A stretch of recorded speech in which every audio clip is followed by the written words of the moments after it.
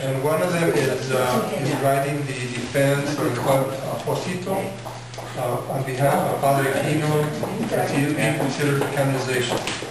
So that, that's, we invite you to that. And so, uh, I just, you know, ask you to take whatever information you you would like, it's there for your, uh, your use. Uh, This is uh, Jim Turner, he's, uh, he's a retired uh, uh, historian, and worked at the Arizona Historical Society, and now he's a freelancer, a teacher, a researcher, an uh, author, and I think also a tour guide. Whatever they want you to be. You got it. He's a long, long time Tucsonan. He's been here since uh, 51, and he attended the University of Arizona where he got his master's degree in U.S. history in 1999. And uh, Jim just recently finished a book, a pictorial book called Celebrate Arizona, and that's coming out in October of this year. And uh, he also does a, a monthly column in the Citizen, in the uh, Arizona Daily Star, uh, under the Life in the Old Pueblo. So uh, at this point, I'd like to introduce Jim Turner. Saturday. Uh, understand there's also a tour today, so um, I'm glad that you are more interested in Kino the scholar than uh, Kino the traveler. And that's kind of pretty much what I'm going to be talking about. I felt that I would be preaching to the choir today. Um, obviously, you know and love Kino already, or you wouldn't come to hear more, but there are the books. Father Charles Polzer is kind of the definitive expert, so if you've read Polzer, you probably know as much about Kino. So I thought I better go get some extra little things, some things to ponder. And as I was going through the books, and there are a stack of books on, on Kino in the U of A library, I found that there were a lot of things about he did this, he did this, he did this. And of course, when we had the statue dedication, there were marvelous speakers um, talking about the, the beef and the wheat and uh, all of the contributions that Kino made and the dates that he was at this mission or the dates that he was founding that mission or traveling on this particular date. But they are mostly scholarly chronologies of this happened and this happened and this happened. And you don't really get a feeling for Kino, the person. What was his personality? And so I, was, I just happened to have lunch with Big Jim Griffith on, on Thursday, and I said, Jim, what do you know about Kino, the person? And he said, well, gee, he sort of got this dumbfounded look. He really hadn't thought of it that way. And I think a lot of people that have written the books are pretty much the same way. They, they are focused on all of the stuff that Kino did. And you can be overwhelmed by um, the amount of things that he did, the distances that he traveled, the number of missions that he founded, the number of people that he baptized, and sort of lose who Kino is. And yet, that's part of Kino. The, the hustle and the bustle and the type A personality, we call it today, where he's always busy, he's always moving. That's the Kino personality. But before that, there's a lot of things that, that get repeated from one book to another, from Bolton on. Um, things get, get published and then they, they get picked up. Scholars can be lazy, and we would rather go to an established work than go back to the original paper. And, you know, most of us can't afford to go to Italy, which was then Austria, and, and look at the records or look at the family members and say, okay, now I know that what Polzer wrote was true, or what wrote was true. So we just pick those things up and repeat them and repeat them. And we had this happen uh, just a few weeks ago. I was writing a column for the Daily Star about Kino, and I got a call from uh, Maria Parm, the editor, saying, he, uh, what was Kino's, you know, and this is last minute. They, they're always on a deadline at the newspaper. Get back to me right away and tell me what day Kino was born. And now, of course, August 10th, you know, it's off the top of my head because we're just eating and sleeping and drinking Kino this month. But at that point, it took me a while, it just took me a second to get it. And I called back, of course, his phone is busy because she's calling somebody else to ask Kino's the day that he was born. And uh, so by the time I got through, she said, yes, I got it. It was really, really easy to find. But um, earlier writers did not know that. In 1916, there's, there's a seven volume of Arizona history that says we don't know what year he was born. So, you know, more scholarship, more scholarship. But her point was, born in 1816. I do a lot of different history. Born in 1645 and died in 1711. So everybody says he was 66 when he died. And it's in the books that he was 66. And the editor, who is used to writing obituaries, of course, made the point, and everybody's out here doing the math now, um, he was born in August, he died in March.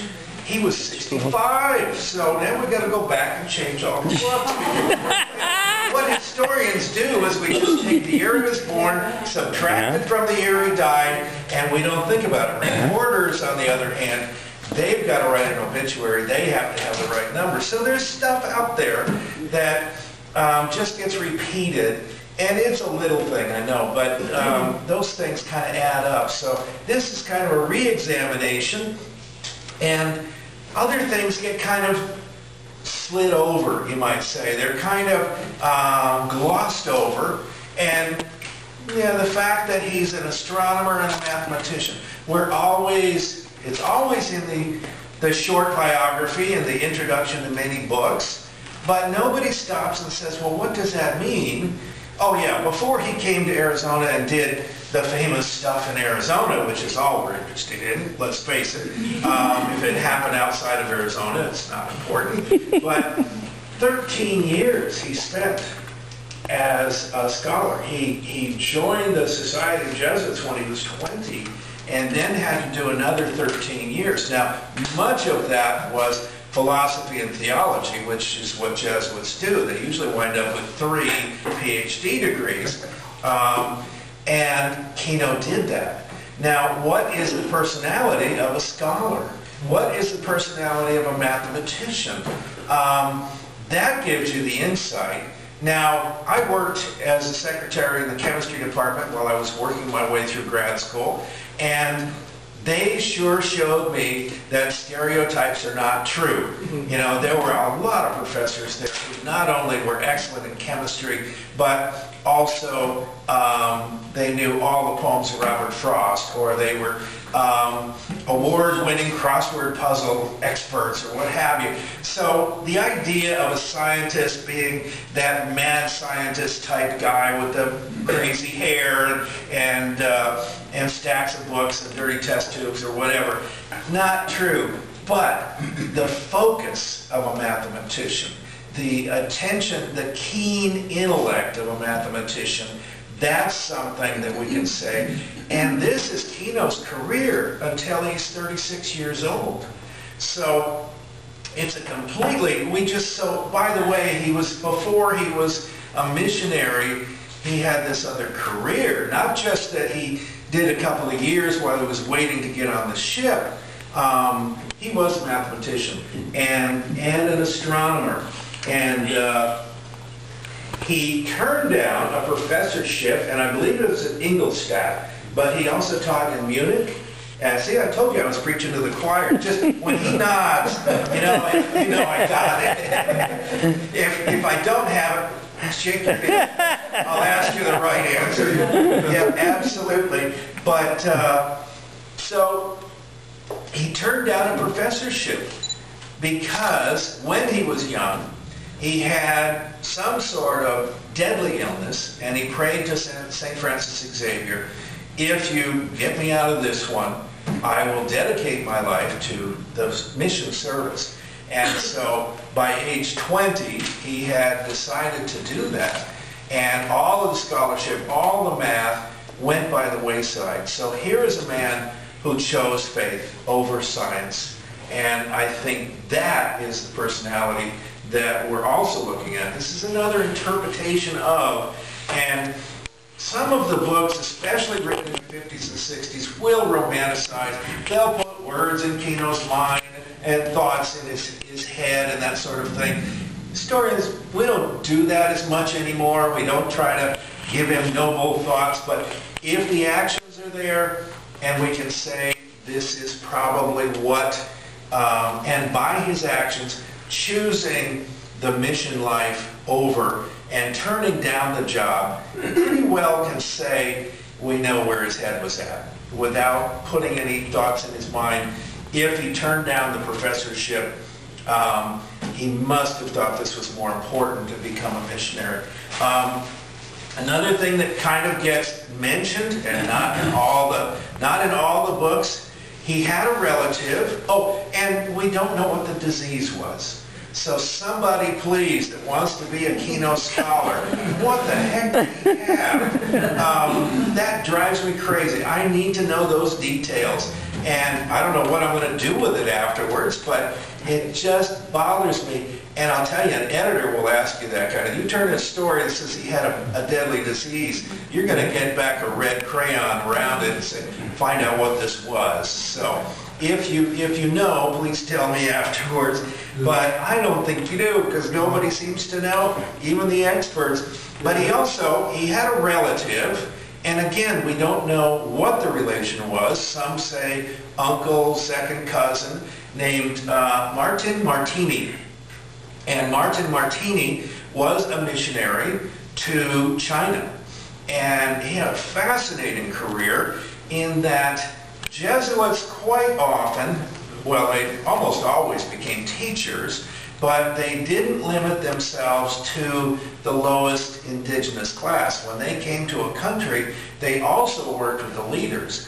And Martini became a Mandarin. He worked with the, the highest ruling class of China, and there are portraits of him in his silks and in his